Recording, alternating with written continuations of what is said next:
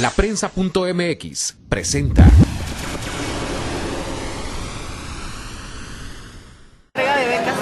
Pues sí, la estamos viviendo esta mañana y estamos sumamente contentos por la participación de los padres, de las madres de familia y de los niños de primaria que pueden participar en estas becas que el Ayuntamiento de Reynosa ha autorizado en la nueva administración y pensando siempre en tener calidad en la educación aquí en Reynosa.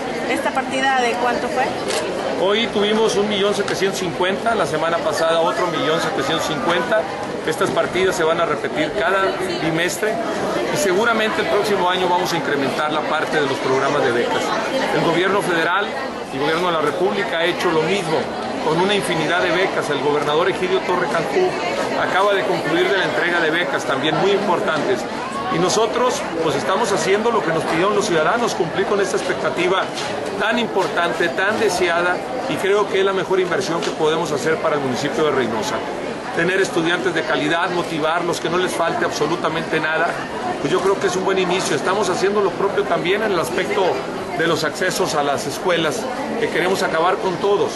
Pero no solo eso, queremos también entrar en el tema de techumbres, equipo deportivo, todo aquello que le dé calidad en la educación en Reynosa a los estudiantes. Reynosa nos ha dado muchas cosas y nosotros le debemos muchas más.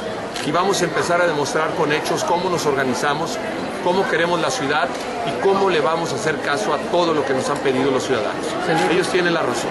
Ya le cumplió a, a la educación con esta entrega de becas. ¿Qué, ¿Cuál es el mensaje? ¿Qué sigue para la educación de parte del gobierno? Todo lo que sea posible hablaba de terminar con el programa de accesos dignos a las escuelas, pero también en el aspecto de que, por ejemplo, nos piden mucho que volteemos a ver los baños, que estén en buenas condiciones. Hay mucho tráfico porque tenemos mucho, mucho alumnado en esta ciudad, perdón. Y nos vamos a entrar, a meter, a buscar los mecanismos de rehabilitarlos también. Tenemos que pensar en grande, como somos, una ciudad grande, y tenemos que pensar que lo mejor que tenemos Reynosa son ellos, nuestros hijos, nuestras familias y todos aquellos alumnos que nos puedan aportar.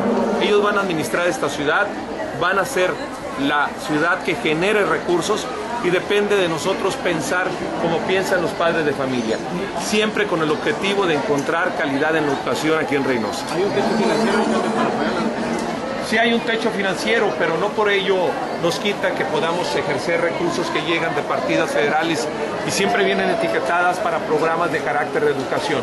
Pensamos en bibliotecas, pensamos en áreas deportivas también, que es un complemento que tiene que darse con la educación y algo que para mí es muy importante porque los propios ciudadanos nos lo han pedido, hay una gran comunidad, pensamos en la parte de la cultura, que es un complemento de la misma materia.